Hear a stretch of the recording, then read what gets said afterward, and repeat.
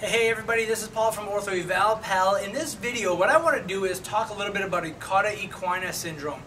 Um, this, you know, oftentimes we see people with back pain and, and, we really don't know what to do with them. Sometimes we want to send them to a neurosurgeon and oftentimes, you know, it's we, we send them for nothing uh, or for the wrong reason or they uh, we just have like this urgency to send them. Well, there are certain reasons why you should send somebody urgently to a neurosurgeon um, or an emergency room.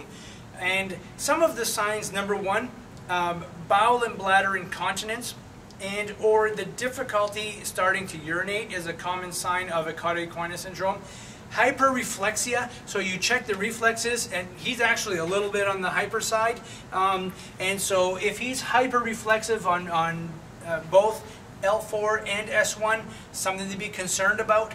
They typically have some instability of the legs and they start to take on a wider base of support to keep themselves balanced and it's kind of incoordinated.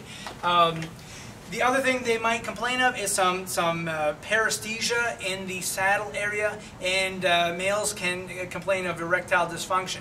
So you want to check the reflexes. If they're hyperreflexive, they're having a lot of pain going down the legs, they're having significant dramatic weakness, bowel and bladder issues, um, you need to expedite those patients over to uh, an emergency room and hopefully to a neurosurgical office um, because the longer they stay compressed, uh, the more long-term damage they can have and have really significant loss of quality of life.